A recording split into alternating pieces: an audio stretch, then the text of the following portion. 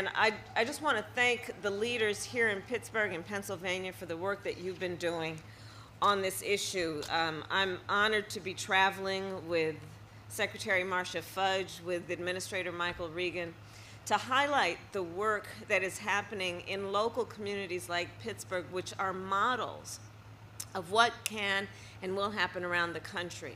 In large part, the work that we are doing is in response to the advocacy that has been coming out of leaders like the leaders here in Pittsburgh for years, who have been demanding that we prioritize this as an issue, have been demanding that we put the resources in that are reflective of a priority, and that we do the work in a way that is collaborative with local leaders, local elected officials, with community leaders, knowing that the work that we do together will have profound impact when we are coordinated.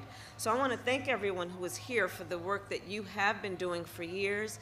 We came to Pittsburgh to talk about you here in your backyard, but then to talk about you around the country as a model of what can be done around the country. So Secretary Fudge, Administrator Regan, I want to thank you for traveling with me. Congressman Lamb, Thank you for your leadership. I've seen you and Congressman Doyle, the work that you do in Washington, D.C., representing the people of this district so, so well and so strongly. And again, Kim, thank you for that.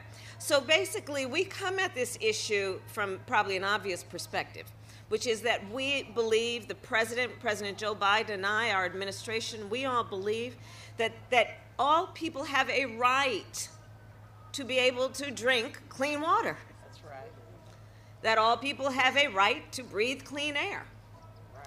So we approach this from that perspective, which is that we as a society and certainly as a government must ensure that that right is real and that it is protected.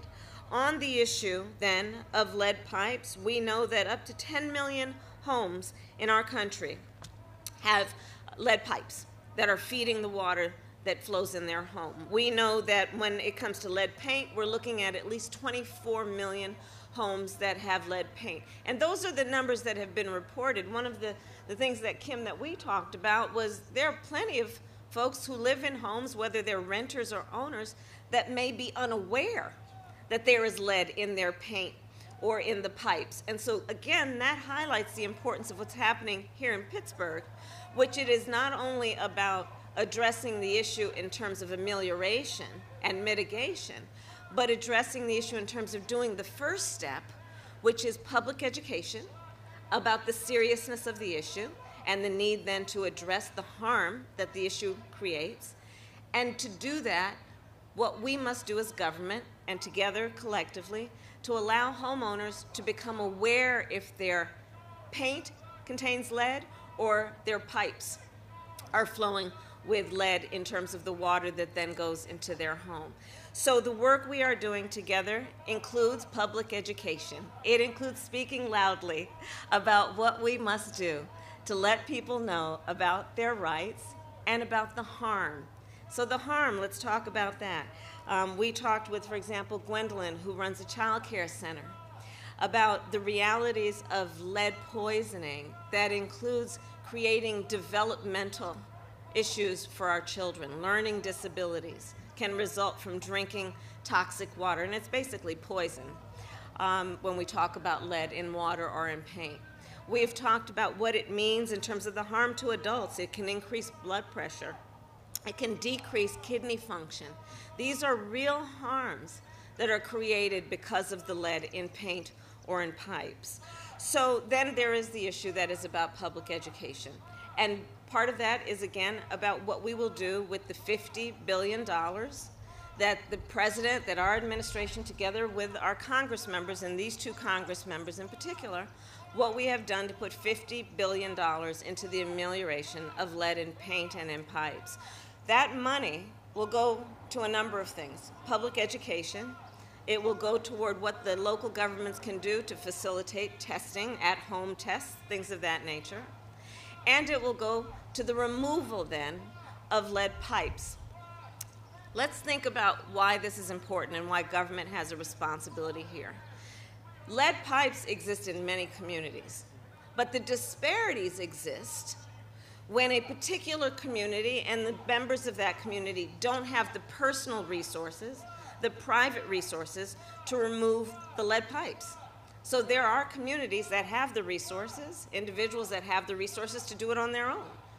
But if you're working three jobs, if you're working minimum wage, if you're barely getting by month to month, then you probably cannot afford the work that needs to get done to remove the lead.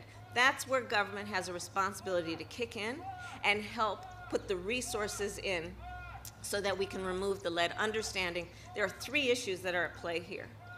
One issue is the issue that is about equity. All people have a right to drink clean water, and so this should not be a function of how much money you have to pay to remove the lead from the pipes.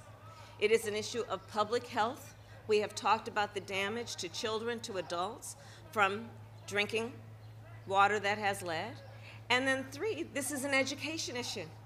This is literally an issue about the education of our children because we know there's a direct correlation between lead pipes and learning ability or disabilities based on the toxins that are present in that water.